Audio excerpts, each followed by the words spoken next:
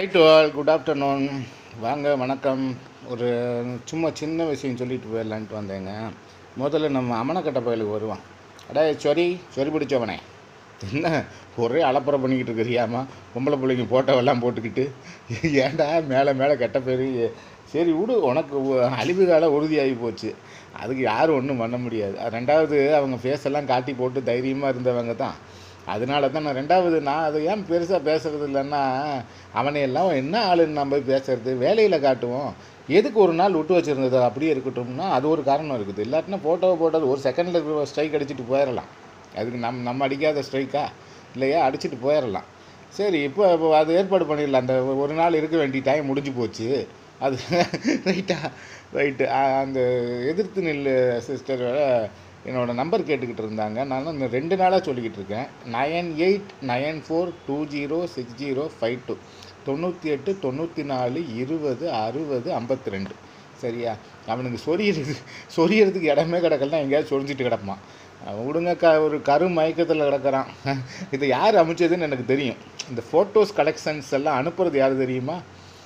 The senior criminal mental the great mental all is well photo அனுப்புனது இப்போ இவங்க photo அனுப்புறது நல்ல திறமையாக செயல்படும் அது. அந்த அம்மா யாரை யாரை பழி வாங்கணுமோ அதையெல்லாம் அடுத்தவங்களை வச்சு தான் செயல்படுத்தும். சரி ரைட்டு இருக்கட்டும். அடுத்த விஷயத்துக்கு வரேன். நம்ம வைத்தியர் ஐயாவுக்கு வரேன். ஏன்னா இவனை ரொம்ப நேரம் பேசிக்கிட்டு இருந்து ஒரு அல்ப பையன் நமக்கு சொறி பிடிச்சிரும். இவனையே பேசிக்கிட்டு இருந்தா சொ நம்ம நாளையிலேருந்து நம்ம சொரிய ஆரம்பிச்சிடுவோம் சொறி சரங்கள்லாம் வந்துடும் சரி அடுத்த கட்டத்துக்கு வரேன். நம்ம இவர் வைத்தியர் ஐயாவுக்கு. என்ன சார் வைத்தியரையா ஒரு மாதிரி கிறுக்குத்தனமாக புலம்பி வச்சுருக்கிறீங்க? நான் என்ன சொன்னேன்? இல்லையா? நான் சொன்னது என்ன சொன்னேன்? சத்தமாக பேசுகிறவனெல்லாம் கெட்டவனும் கிடையாது. அமைதியாக அழகாக பேசுகிறவனெல்லாம் நல்லவனும் கிடையாதுன்னு சொன்னேன். அதை எப்படி உங்கள் வர விருப்பத்துக்கு மாற்றிக்கிறீங்கன்னா நல்லா பேசுகிறவனெல்லாம் நல்லவனும் கிடையாது அசிங்கமாக பேசுகிறவனெல்லாம் கெட்டவனும் கிடையாதுன்னு உங்கள் விருப்பமேருக்கு மாற்றிக்கிறீங்க என் டைலாக் எப்படி இன்னும் என்னோட அனுமதி இல்லாமல் நீங்கள் மாற்றலாம் என்னங்க நீங்கள் என்னமோ நாங்கள் வந்து உங்களை வம்புக்கு வா வம்புக்கு வாடினாப்புல புலம்பி தள்ளுறீங்களே. விலகி போயிரு விட்டுறோன்னு தான் சொன்னோம். நீ தான் இல்லை இல்லை நானூறு ரவுடி தான் நானூறு ரவுடி தான் ஏறின. அப்புறம் எப்பயார் விழுந்துருச்சு லொப்பையார் விழுந்துருச்சுன்னா உழுவத்தான் செய்யும். சரியா? நீ இந்த சும்மா இது பந்த சட்டமேதை மாதிரி எல்லாம் பந்தா காட்டிக்கிட்டு இருக்காத.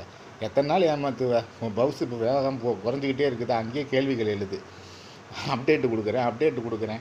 கரடியே காரி துப்புனாலும் அந்த கரடிக்கு நீ வந்து முதுகு சொரிஞ்சு விடுவேன். நீ சொரிகிற இந்த சொறி பயலை வச்சுக்கிட்டு. சொரிங்க எனக்கு ஒன்றும் பிரச்சனையும் இல்லை. ஆனால் என் டைலாக்கு நீ மாற்றக்கூடாது சரியா? என் டைலாக் என்ன? சத்தமாக பேசுகிறவனெல்லாம் கெட்டவனும் கிடையாது.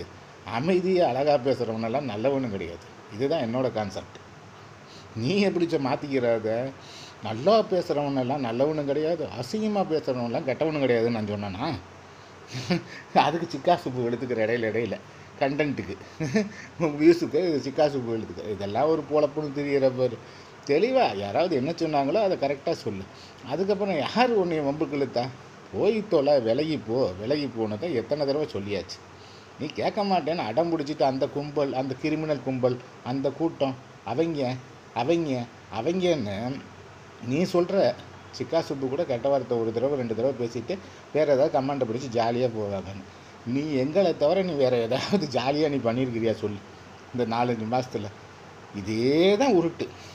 அந்த லைவ் ஆரம்பித்ததுலேருந்து லைவ் முடிகிற வரைக்கும் அவங்க அந்த கும்பல் இந்த கும்பல் அந்த கூட்டம் அந்த திருட்டு கும்பல் அந்த அதுவும் எங்கள் அக்காவை நீ பேசாத பேச்சு கிடையாது. ம்? நீ அதைத்தான் நான் குறிப்பிட்டு சில விஷயங்களை உதாரணத்தோடு சொன்னேன்ப்பா நான்.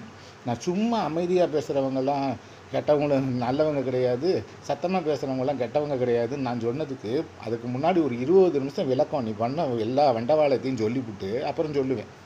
நீ பொதுவாக சொல்கிற இல்லையா? நீ பொதுவாக சொல்கிறது தான் வேலை. சரிங்க. இரவு லைவில் சந்திக்கலாம்னு நினைக்கிறேன். இவங்களுக்கு இது போதும்.